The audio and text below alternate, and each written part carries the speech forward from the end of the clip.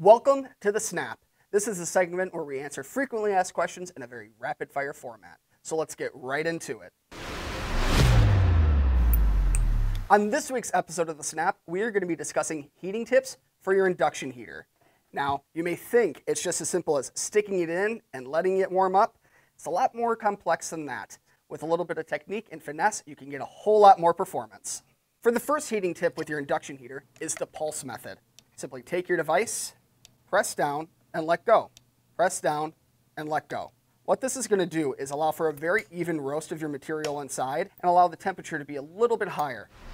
For you cloud chasers out there and want a little bit increased vapor production, try the quick back-to-back -back heating technique. Take your device, press it down, wait for the click, and when the click occurs, you draw. And now during this time, you would just be drawing the entire time. And then as soon as that cooldown click occurs, you put the device back in your induction heater almost immediately after that cooldown click.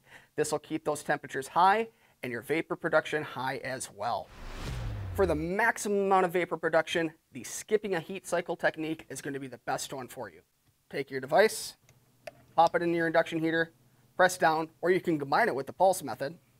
Wait for the click, Set it down on your magnet on top of your induction heater and let the cool down and click occur again without inhaling.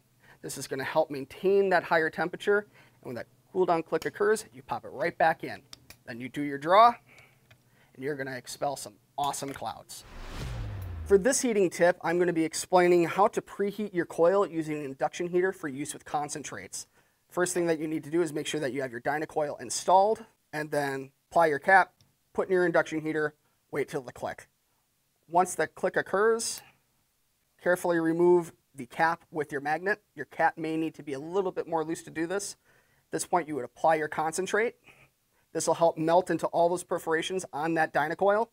And then when the cool down click occurs, you can simply just pop your cap back on, put it back in your induction heater, and that will allow you to not have any waste with your concentrates because it will all be melted in.